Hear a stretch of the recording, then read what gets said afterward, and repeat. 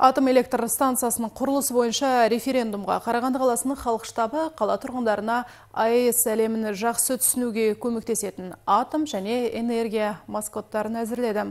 Әріптесім Ділназ Шангири әңгімелейді. Халық штабы өкілдерінің пайымдауынша энергия маскоты болашақ пен инновацияны бейнелейтін динамикалық қызбала. Ол адамдарды жаңартылатын энергия көздерін пайдалануға, сонымен қатар үнемдеуге ынталандырады. Ал атом жарқын және мейірімді кейіпкер. Оның мақсаты заманауи технологиялардың олардың қалай сенімді және экологиялық таза ететінін көрсету арқылы АЭС қауіпсіздігі туралы мифтерді жою. Бүгін осы халық штабының волонтерлері қаламыздың көшелерімізде алдағы референдум бойынша және аэс бойынша ақпараттық парақшалар таратудамыз және бүкіл қаламыздың тұрғындарды алтыншы қазан күні дауыс беруге шақырамыз. Республикалық референдум туралы заңға сәйкес мұндай құқыққа ие қазақстандықтардың жартысынан астамы дауыс беруге қатысуы тиіс.